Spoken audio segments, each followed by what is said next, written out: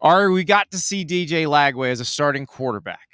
It was against Samford, but it was what Florida fans have been dreaming about for over a year since the guy committed. To have a quarterback who can move around, can dump truck a defender, and with a flick of a wrist, drop it in the bucket 40 yards down the field. It was he was everything they hoped he'd be. It was against Samford. Texas A&M's coming to town. Billy Napier says after the game, if Graham Mertz is back, there's a decision to be made. Is there a decision to be made? Can I back it up just for one second? Go for it. Because this has been weighing heavy on my mind, Andy. We have to quantify everything all the time in the sport. Well, it was against Samford, or well, it was against an overmatched G5 Yes. team, Yes, or yes, Michigan yes. Okay, stinks okay, when okay. Texas wins. We always have to quantify everything. Let me just ask you this. Do you think the opponent matters? And obviously, if he's playing Georgia, it's not the same thing as playing Samford. But do you think the how much do you think the opponent matters when you can tell with your eyeballs, your beautiful eyeballs, that someone has it or not? Like, why why do we have to quantify that It, it it only it only matters because better players allow better coaches to create confusion in a quarterback's mind. That's it. So that's where experience probably helps a little bit. That said, I do not think there's a choice here. Yeah, I, I, I think DJ Lagway gives them the best chance to win because he can do things that Graham Mertz cannot, and because that offensive line against Texas A&M's defensive line, especially, we don't know how they're going to hold up. And who do you think gives you a better chance of keeping the play alive, Graham Mertz or DJ Lagway? Yeah, I'm not saying that I think that DJ Lagway is a top five quarterback already, but what I am saying is, is that I saw enough with my eyeballs to tell you that A, this kid has it. Yeah. And B, uh, it gives your program some much needed enthusiasm during a time where we're e- entering potentially apathy. Yeah. I mean, I don't know what else you would need to see. I guess he, and it's not like he had a pretty good game. He threw for 450 yards. So take 200 yards off of that and just say the opponent was better. Like, I- Right. I, don't, it's like he looked really good. He's supposed to make mistakes. If they start him and he plays in the SEC, he is going to make mistakes. Yeah. But you know who else is going to make mistakes?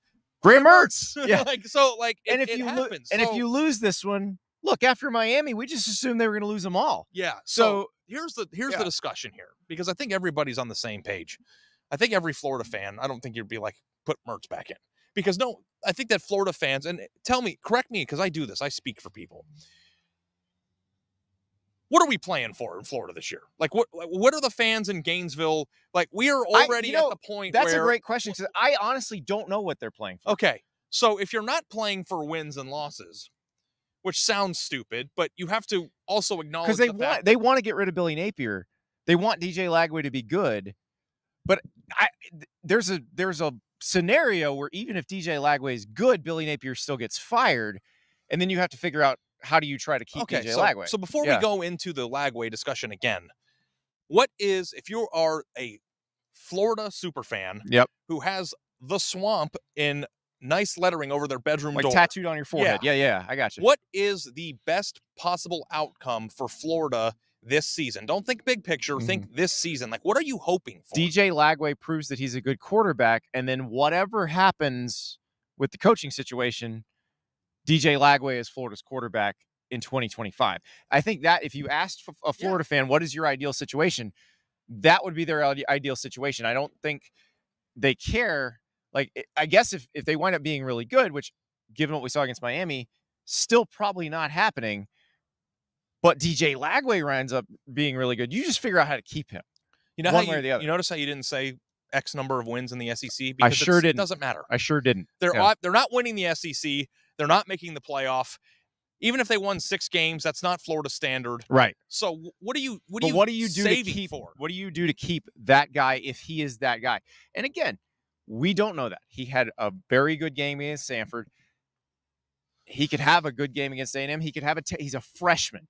Let him have his terrible Yeah, games. yeah. Like I think a terrible game from DJ Lagway is still better than a pretty good game from from Well, Graham and Mertz because you're not I playing think for Florida anything. people are kind of scarred from knowing how amazingly talented Anthony Richardson was and watching Emory Jones trot out there every week. Like they that that I think has has fried some people's brains.